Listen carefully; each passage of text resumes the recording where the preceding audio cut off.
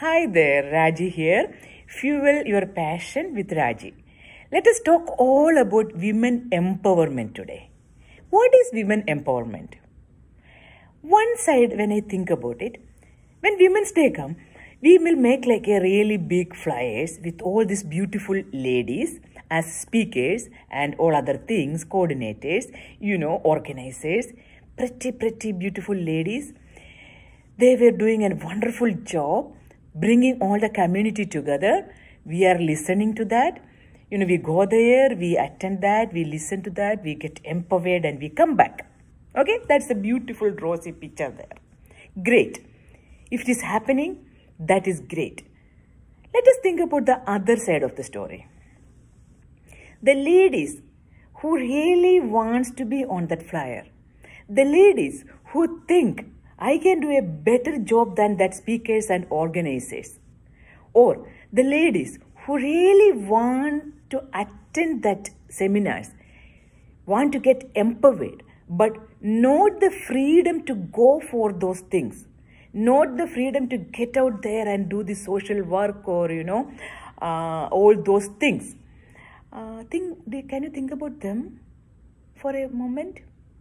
I am talking about the beautiful, energetic ladies out there who all have all these things inside them. They were like great people when they're in college and their parents encouraged them, and everybody around me, just like myself. Uh, my grandpa, like, boom, boom, boom, go, Raji, go, Raji, get into all the stages, talk, talk, talk. Then, what if I got somebody like, I got a husband like, don't let me do all this, homebound, kitchen bound, work bound, you know, what will have happened to me? Isn't there be like a lot of women like that? What is happening to their mindset? Stuck at kitchen, stuck with families, stuck with, you know, judgmental things. Everybody is attacking them. Maybe all they want to do is like they just want to go and attend these type of things. Just that Saturday evening or Sunday evening, getting out of house and that one hour, two hour freedom they don't have. I was just just thinking, you know, what kind of women empowerment we are doing, right? And then there are some evil men out there. Okay, not I'm not talking about our husbands or anything, like outside women, men. How they are making it really hard. You know what they will say? Oh, two ladies they never get along. Or there's a saying, like I can put that in English always two heads can put together, but four breasts cannot put together. There is a saying, I have heard it directly from people. Because that lady and this lady won't get along because of this. You know what? The catalyst is always men. Sometimes we women become the puppet in their hand. They just put, I, ha- I heard that about myself. Oh, I have a close friend. So he used to say, like, you know what? She's so she's like crazy or something. They never say like she's energetic she's talented she's uh, organized so she has a lot of ideas she's a lot of charisma she has a lot of time she has a lot of uh, open heart or nothing. They don't say anything that. They will say that lady is not. You just say anything to her she just fall for it. She gets ex- just just to say like something pokeparayal you know just you know make her like you know flatter her or something, then she will do anything. So we can make her do work. Still, we men, men are doing it. Two beautiful, energetic, uh, idea-oriented ladies, still the they are like fireflies, literally, falling into that. So the women empowerment need to start from there. We women need to start to talk to each other, women come together. You need to have that open heart to listen to your uh, critics. Other person is critiquing you. You should be able to, you have to, to have that growth mindset.